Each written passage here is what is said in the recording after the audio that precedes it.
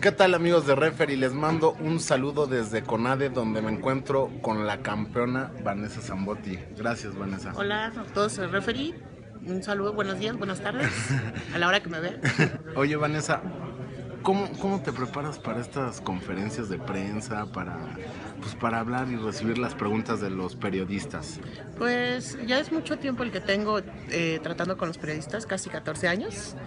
Y pues es es parte de esto, ¿no? A veces eh, reniega uno poco porque quieres entre, es, lo tuyo es entrenar o competir, pero pues es parte de ahí y tienes que estar acostumbrado. Oye, Vanessa, ¿ya estás preparada para, para Río? Sí, estoy preparándome, son, van a ser unos juegos muy fuertes, unos juegos, mis últimos Juegos Olímpicos y pues estoy muy contenta. Oye, y a despedirse de estos últimos Juegos Olímpicos con una medalla de oro, ¿no? Sí, pues ir a combate a combate, ¿no? Combate a combate y, y llegar al podio y sola, sola la medalla va a llegar. ¿Qué es lo más difícil de llegar a, a, estos, a estos Juegos Olímpicos? Los cuatro años, ¿no? Los cuatro años de entrenamiento, cuatro años de competencia, de lesiones, de muchas cosas. Oye, ¿y siempre te gustó el judo? No. Cuando estaba chica me gustaba mucho el atletismo, me gustaba mucho el básquetbol, el fútbol. Entré al judo a los 17 años y fue cuando empecé a tener pues, mi pasión, ¿no?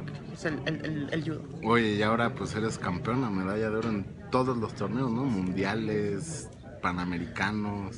Pues eh, todo se ha ido dando poco a poco, ¿no? Con el entrenamiento, con la constancia, con la disciplina y pues con el apoyo también de la CONADE, el apoyo de la federación y el apoyo de mis entrenadores. Pues muchas gracias Vanessa y pues un saludo para todos los amigos de Referee.